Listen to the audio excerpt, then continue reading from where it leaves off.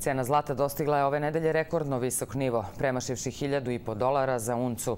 Analitičari smatraju da bi slab dolar i nedavno upozorenje o perspektivama ekonomije i platežne sposobnosti Sjedinjenih država mogli da dovedu do daljeg porasta cena zlata i drugih dragocenih metala.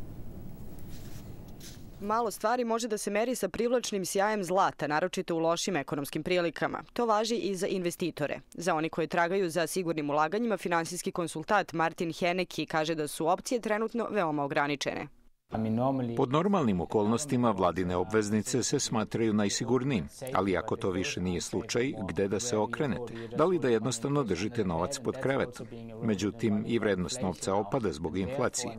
Stoga se investitori sve više okreću zlatu kao zaštiti od mogućeg bankrotstva pojedinih država i zaštiti od inflacije na globalnom nivou.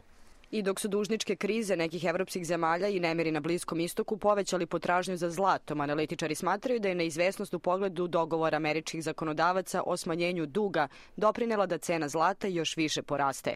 Analitičar za metale u finansijskoj firmi Standard Poor Leo Larkin ne vidi mogućnost za skori pad cene zlata.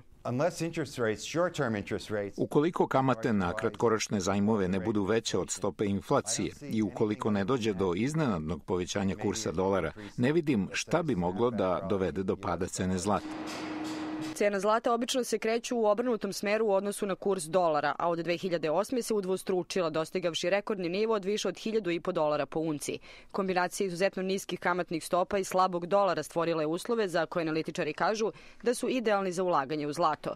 Međutim, globalni finansijski strateg Roger Nightingale iz njujorške filme Pointon kaže da ni taj trend ne može da traje večno. Amerikance počinje da brine taj trend na tržištima. Verujem da ćemo do kraja godine videti promenu i da će cena zlata početi da pada. Dok vrednost dolara pada, cene većine dragocenih i drugih metala i sirovina rastu. Cena srebra takođe je porasla na više od 45 dolara po unci, što je najviši nivo od 1980. godine.